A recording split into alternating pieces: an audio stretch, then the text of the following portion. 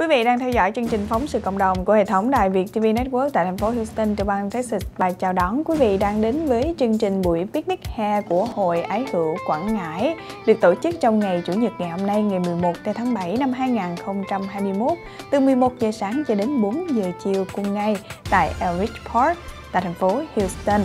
Xin mời quý vị cùng tham dự với Đài Việt TV. Những năm gần đây chúng ta có được cái ờ, chương trình mùa hè rực rỡ à, rất là vui nhộn à, như ngày hôm nay để chúng ta có dịp đồng hương thân hữu cũng như các em trẻ tham gia một cách rất là tự nhiên và à, vui vẻ cùng với nhau. Chúng tôi tên là Nguyễn Văn Vinh, là cựu hội trưởng của hội ở hữu Quảng Ngãi à, Hiêu sinh à, được à, hai nhiệm kỳ 6 năm trước đây. À, và bây giờ chúng tôi nằm là một trong những thành viên trong ban cố vấn. À, thì cái buổi tiệc à, picnic mùa hè rực rỡ buổi chiều à, hôm nay của hội hữu Quảng Ngãi là à, gồm cái chương trình gồm có là thứ trước nhất á, là chào quốc ca quốc kỳ Hoa Kỳ và Việt Nam Cộng Hòa phút mặc niệm. Và sau đó là mình à, giới thiệu quan khách à, tham dự cái buổi à, picnic hôm nay.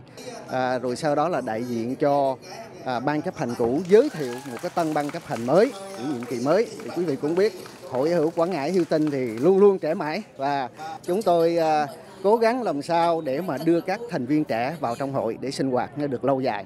À, và sau đó là phần ẩm thực thì à, rất là phong phú à, được tất cả quý à, đồng hương cũng như thân hữu à, à, Quảng Ngãi đem tới phục vụ cho chúng ta buổi chiều hôm nay.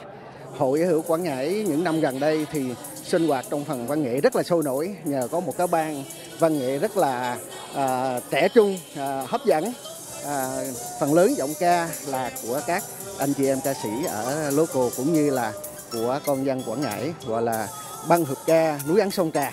Dạ.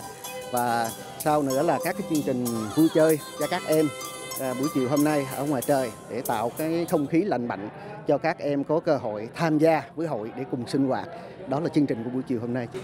Hội ái hữu Quảng Ngãi Houston thành lập sau một thời gian dài thăng trầm từ những năm đầu 1990 à, đến nay, thì à, theo các thế hệ của đời à, thuyền trưởng, thì từ hội trưởng chú Nguyễn Hà Nam, rồi đến chú Hồ Anh Triết, đến anh Nguyễn Văn Vinh và đến Nguyễn Anh Thắng và bây giờ là đến tôi, thì đã 31 năm.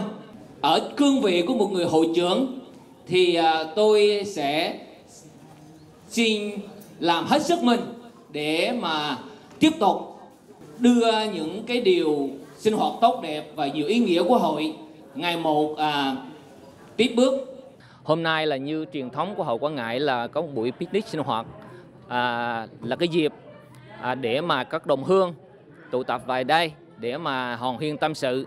Nhưng như tôi biết năm rồi là do à, Covid thành ra là chúng ta không tổ chức được cái truyền thống của hội ở hữu Quảng Ngãi là có những sinh hoạt à, rất là ý nghĩa cũng không như là à, về thứ nhất là chương trình giúp đỡ cho thương phế binh tại quê nhà. Thứ hai là những giúp đỡ những chương trình mà hoạn nạn ở quê nhà như vừa rồi. Hội quảng ngãi có cái chương trình mà kêu gọi giúp đỡ cho các nạn nhân bão lụt cơn bão số 9 tại quê nhà.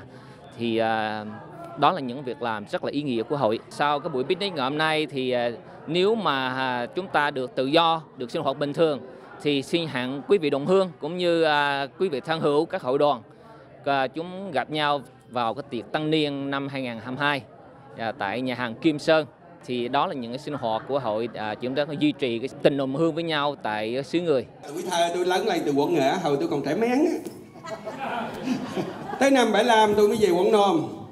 Thì à, à, à cho tôi á, là ở trong tiểu khu quận Nghệ đó, thành ra là tôi lớn lên ở quận Nghệ, thành ra tôi cũng là một phần của quận Nghệ. À, thì cô nó cổ biểu tôi là anh phải nói giọng quận nghệ hay giọng quận trung thì ờ, quận non thì tôi ờ, người miền trung tôi nói miền trung thôi chứ răng bà con hãy. À tôi yêu đi bộ dưới hàng tây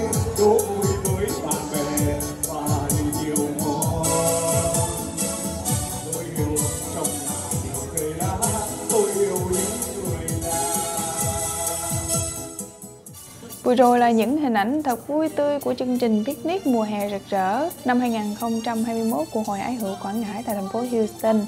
Cảm ơn quý vị đã cùng với Đài Việt TV tham dự trong chương trình ngày hôm nay. Chúng tôi xin chào và hẹn tái ngộ tới quý vị trong chương trình lần sau. Xin chào tạm biệt.